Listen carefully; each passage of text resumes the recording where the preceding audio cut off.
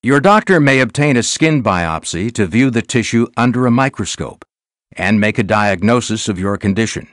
The skin is the largest organ of the body and is responsible for regulating body temperature, sensing painful and pleasurable stimuli, providing a protective barrier against bacteria, toxins, and extreme temperatures, and maintaining a balance of water and electrolytes by preventing internal fluid evaporation. Skin consists of three layers the epidermis, dermis, and hypodermis. The epidermis helps prevent most bacteria and other foreign substances from entering the body.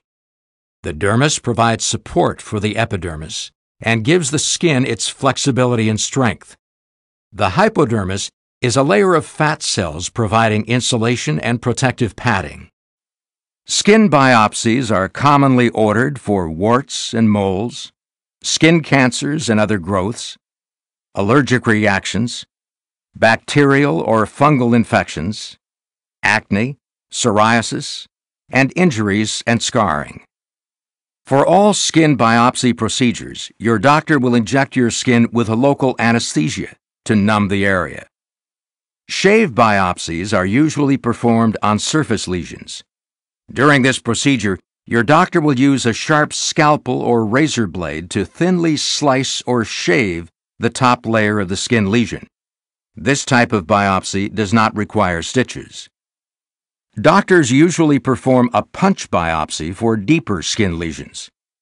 Your doctor will rotate a circular hollow blade around the lesion until it cuts completely through the epidermis and dermis.